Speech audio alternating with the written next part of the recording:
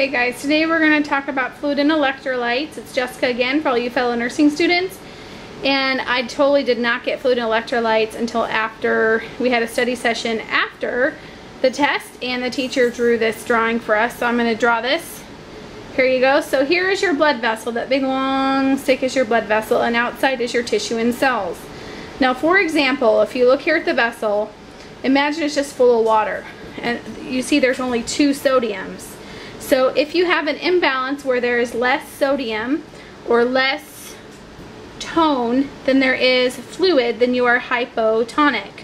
And when you are hypotonic, you don't have that much sodium in there, but you have way too much water. You're overloaded with water. So what's going to happen is the water is going to leave the vessels. It's going to go here into the tissues and cells.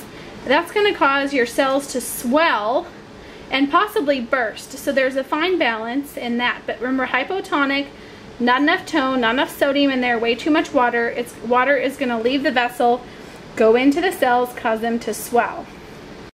Okay, so now let's talk about isotonic. If you can see here, it's pretty well evenly spread that we have sodium and water pretty well balanced. If you're isotonic, then you are balanced between your sodium and water and everything is great. So for example, if a patient has blood loss, they need isotonic fluids to help balance so that you're not trying to change the fluid levels or the sodium levels necessarily, but as a whole, you're trying to increase blood volume.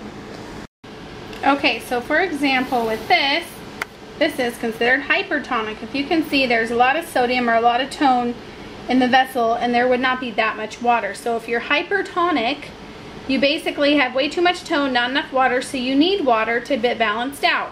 So you're going to pull water from the cells into the vessel to help balance things and that in turn will cause your cells to shrivel or shrink and could possibly shrink to where they die. But that's kind of how the balance happens. So there you go, hypertonic.